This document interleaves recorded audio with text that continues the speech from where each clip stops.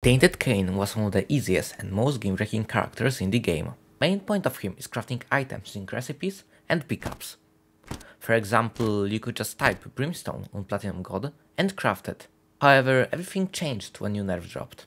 After patch 1.7.5, each run had different recipes. That said, breaking with him was much much harder. Of course, sites like Platinum God adapted after some time, but checking recipes wasn't as easy as before.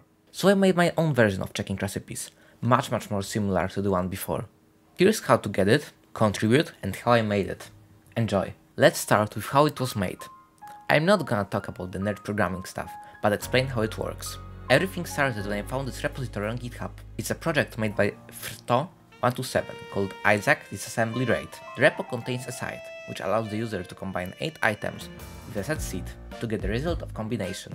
I asked for a license and the license specified by him is Creative Commons, so I was able to use it in my own project. That's how the entire project started. I extracted the JavaScript code, changed some things and made my own website based on it.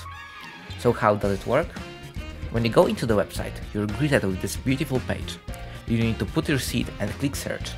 Then you will see this search bar and a steps meter on the right.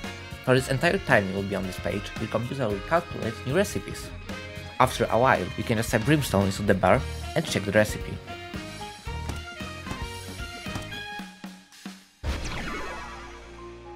After you reach the goal of 2000 recipes, you can upload your recipes to the server. But why? If someone gets the same seed as you, which can happen, they will get all the recipes instantly, without taking more time on calculating them. I also made an Isaac mod which makes using the website even easier. It sadly requires Lua debug. If you've installed the mod in game, you can just click F5 on your keyboard to open in the browser my website, with already imported seeds and other stuff, so you can just take recipes more easily. Now comes the last part, contributing. I need your help, really. The basics of the site are there, and the site works, but it can be better with you. If you want to help code new stuff to the website, fix bugs, maybe even fix CSS, then be sure to check its GitHub page. Other than that, I recommend checking you the website for yourself. Bye!